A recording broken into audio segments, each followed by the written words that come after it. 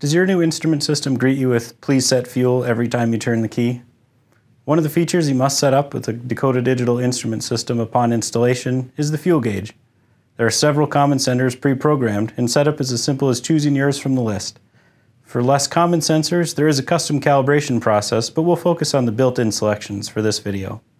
We'll cover the basic setup process using a VHX system, though the method is very similar regardless of which package you have.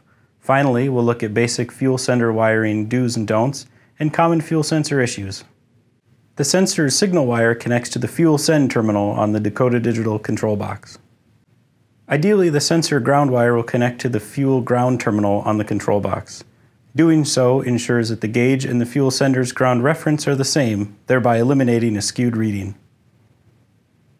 If running a dedicated ground wire simply isn't practical, ensure the sensor has a clean, solid connection to the body. You'll end up with an inaccurate fuel gauge, if not an error message, if you're counting on the sensor to ground through the tank and the straps. Don't ground the sensor in more than one location, and don't ground the control box ground terminal to the body. This is a ground point to the sensor and should be connected to the sensor only. Enter the setup menu of your instrument system. For VFD3, VHX, and RTX systems, hold switch 1 while turning the ignition power on. No need to fire the engine. For HDX systems, with the key already on, hold both switches and follow the on-screen prompts. Once in the setup menu, tap the switch to scroll to fuel, then hold the switch to enter the submenu. If you know what sensor is installed in the fuel tank, scroll to sender and select it from the list. Hold the switch to save your selection.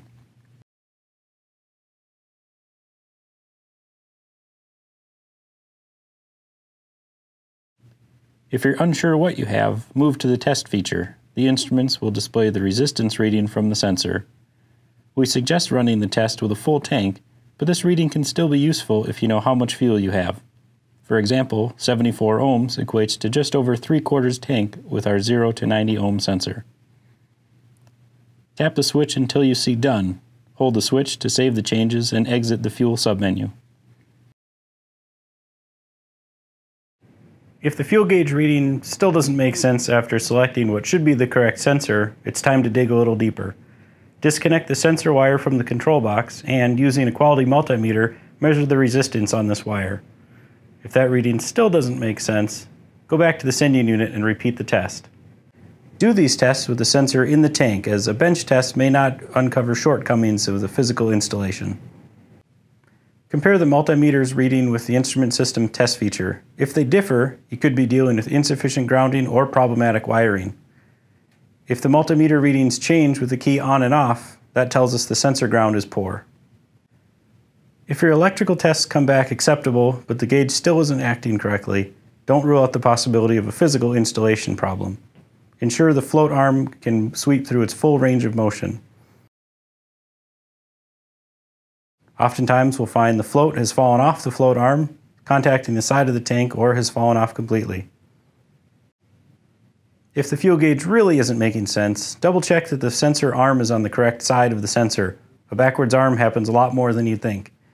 And finally, inspect the float arm itself. Excessive bends can cause the reading to be higher or lower than the actual fuel level.